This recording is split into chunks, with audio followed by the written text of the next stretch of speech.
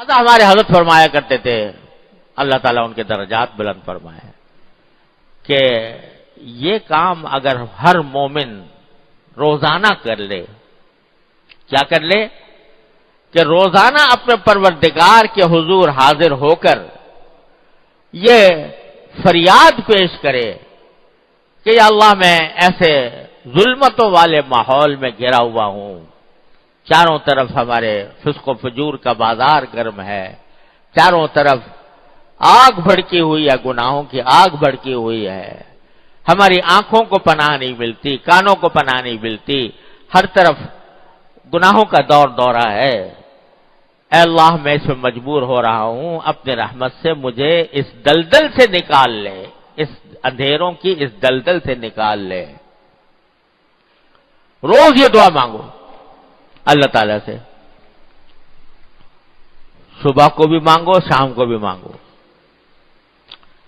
हज़रत फरमाते थे कि सुबह को जब फजर की नमाज़ पढ़ के फारिग हो तो जो अदया मासूरा हैं और जो अजकार मासूरा हैं, वो करने के बाद एक मरतबा कहो कि न सलाती व नुसुकी व महयाया व ममाती लिल्ला रब्बिल ये कह लो। अल्लाह जो आज मैं काम करूँगा, वो चाहे नमाज़ हो, चाहे इबादत हो, चाहे मेरी ज़िंदगी के काम हो, चाहे मेरे मौत के काम हो, सब अल्लाह आपके लिए होंगे रब्बुल आलमीन के लिए। और फिर उसी वक्त मांग भी लो, दुआ। या अल्लाह मैं कह तो रहा हूँ इन सलाती सुखी व माया व माते रब्बुल लेकिन मैं खुद से इस पर अमल करने पर कुदरत नहीं रखता जब तक कि आपकी तौफीक शामिल ना हो। लिहाजा कह दो, या अल्लाह मुझे इसके ऊपर अमल की तोफीक भी अता फरमा। या अल्लाह, आज की ज़िंदगी में मैं जब बाहर निकलूँगा, ज़िंदगी के कारजार में दाखिल होऊँगा, ज़िंदगी के मार्के में दाखिल होऊँगा तो वहाँ न जाने क्या हालात पेश आए, कहाँ मैं भटक जाऊँ, कहाँ मैं बहक जाऊँ तो अल्लाह अपने रहमत से मुझे अपने फजल करम से मुझे नजात अता फरमाइएगा इन अंधेरियों से। सुबह को यह दुआ मांग लो। रोज़ाना, अभी मैंने कहा ना, कोई ये समझो कि मैंने आज ये दुआ की थी और आज ही एक दिन में इनकलाब आ जाए। ऐसा अल्लाह ताला की मशीयत होती है, उसी के मुताबिक काम होता है। तीन दिन मांगी दुआ। मछली के पेट में है, तब जाके वो बाहर आए। तो तुम ये समझो कि आज मैंने एक काम शुरू कर दिया, बस फ़ौरन मैं बिल्कुल मुत्तकी परहेजगार बन जाऊँगा।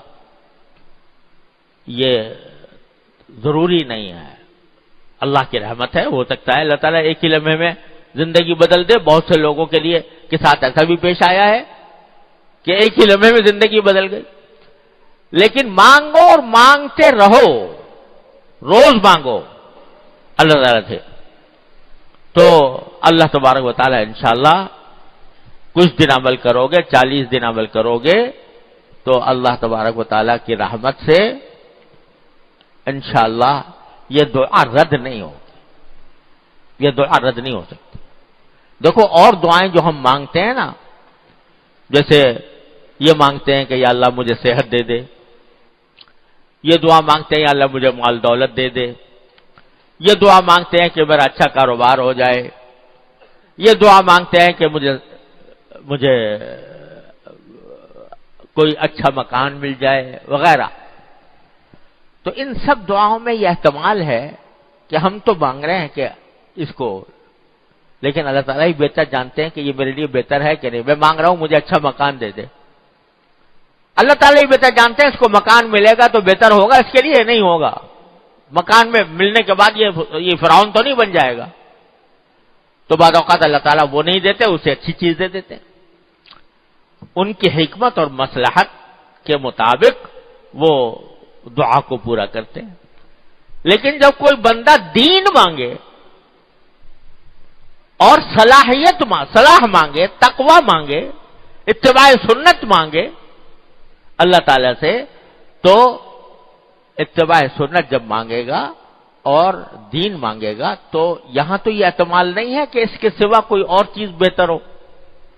इतबा सुन्नत से बेहतर कोई और चीज़ हो। अल्लाह इतबा सुन्नत न दे, कुछ और दे दे, जो उससे बेहतर है। ऐसा मुमकिन है? लिहाजा ये दुआ ज़रूर कबूल होगी। ज़रूर कबूल होगी। बशर्ते के इखलास के साथ मांगो। वाकई मांगो। मांगने की तरह मांगो। क्या? कि थोड़ी सी कोशिश का कदम भी बढ़ाओ। कोशिश का कदम आदमी बढ़ाएगा और फिर दुआ मांगेगा अल्लाह ताला से तो फिर अल्लाह तबारक ताला ज़रूर कबूल करेंगे। मुमकिन नहीं है कि कबूल ना हो। लेकिन दो शर्तें हैं, एक कदम बढ़ाना, दूसरे अल्लाह से रुजू करना। देखो हज़रत यूसुफ सलाम के साथ जो आजमाइश पेश आई, है ना? सबको पता है कि नहीं? जुलेखा ने गुनाह की दावत दी। और कुरान कहता है वगल्ल कतिल अबुआब सारे दरवाजों में ताले डाल दिए। कि यूसुफ अलैहिस्सलाम बाहर ना निकल सके। अब यूसुफ अलैहिस्सलाम आँखों से देख रहे थे कि दरवाजों में ताले पड़े हुए हैं। आगे बाहर निकलने का रास्ता नहीं है। लेकिन ये सोचा कि मेरे बस में इतना है कि मैं यहाँ से भागकर दरवाजे तक चला जाऊँ। ये बस में है तो भाग पड़े। जब उसने दावत दी, गुनाह की तो ऐसा नहीं है कि वहीं खड़े खड़े दुआ मांग ली हो अल्लाह मियाँ से बचने की, बल्कि जहाँ तक बस में था वहाँ तक दौड़े।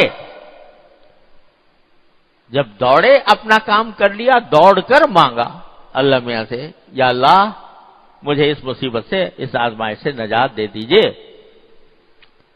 तो अपनी तरफ़ से कदम भी बढ़ाया, चाहे वो थोड़ा ही सा क्यों ना हो, लेकिन बढ़ाया, सच्चे दिल से मांगा, अल्लाह ताला से। तो क्या हुआ? दरवाजे खुल गए। तो माना रूमी इसको फरमाते हैं कि गच रखना नी सालमरा पदीद।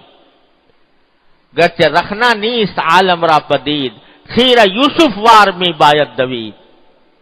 अगर से इस दुनिया के अंदर तुम्हें कोई बाहर निकलने का रास्ता नज़र नहीं आ रहा, रखना नज़र नहीं आ रहा, जिससे तुम बाहर निकलो, इस गुनाहों की वादी से तो उसके बावजूद तुम्हें इसी तरह दौड़ लगानी चाहिए जैसे यूसुफ अलैहिस्सलाम ने लगाई थी। खीरा, यूसुफ वार में बायत दबी। तो इंशाला वो दुआ कबूल होगी। तो एक तो सुबह के वक्त में ये दुआ मांग लो रोज। कोई दिन खाली न जाए। या अल्लाह दिन शुरू हो रहा है, ज़िंदगी के मारिके में दाखिल हो रहा हूँ। अल्लाह मुझे गुनाहों से बचा ले। अल्लाह मुझे अपने अहकाम के मुताबिक सुन्नत के मुताबिक ज़िंदगी अता फरमा, मेरा हर काम सुन्नत के मुताबिक हो जाए। ये दुआ मांग लो। सिद्ध के दिल से मांग लो, सच्चे दिल से मांग लो। और अपनी तरफ़ से जो निज़ाम ज़िंदगी बनाओ उस दिन के लिए तो उस दिन में ये तस्वुर कर लो कि मैं इंशाला इन सब चीज़ों, गुनाहों से बचूँगा। आँखों की हिफाजत करूँगा, कान की हिफाजत करूँगा, जबान की हिफाजत करूँगा। जबान से कोई गलत बात नहीं निकलेगी, जबान से किसी की रीबत नहीं होगी, जबान से झूठ नहीं निकलेगा। वगैरह। ये सब दुआएँ मांग कर ये ये इरादा करके कह दो इन सलाती वन सुखी व महाया व मात और फिर अल्लाह यहीं से मांग लो। या अल्लाह ने इरादा तो कर लिया लेकिन इस इरादे पर साबित कदम रखना और इस इरादे के तकाजों पर पूरी तरह अमल करवाना अल्लाह आपका काम है। आपके सिवा कोई नहीं कर सकता।